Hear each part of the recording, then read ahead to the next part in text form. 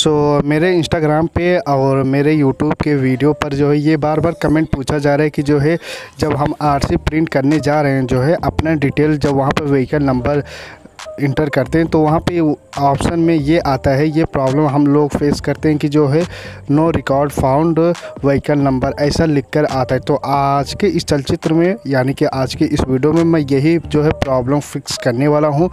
देखिए, मैं आपको स्टेप बाय स्टेप बताने जा रहा हूँ तो आप वीडियो को ध्यान से देखिए। सबसे पहले आपको परिवहन व्हीकल के ऊपर आपको, ऐसे ही वेबसाइट के ऊपर आपको आ जाना है। इसका लिंक हम जो है वीडियो को डिस्क्रिप्शन में दे देंगे। उसके बाद इसके ऊपर आपको क्लिक करना है। जैसे आप इसके ऊपर क्लिक करेंगे। अब यहाँ पे ध्यान रखने वाली बात यह है, आपको अपना सही जो है स्टेट चुनना है। जहाँ से आप बाइक निकलवाए थे जो है, वो स्टेट आपको चुनना है। जैसे आप उसको चुन लोगे जो है सही, जब आप चुनेंगे तभी ये ऑप्शन आएगा।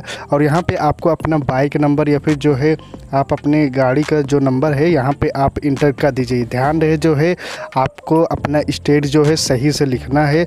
तो उसके बाद no record found vehicle number ऐसा करके आपको प्रॉब्लम देखने को नहीं मिलेगा।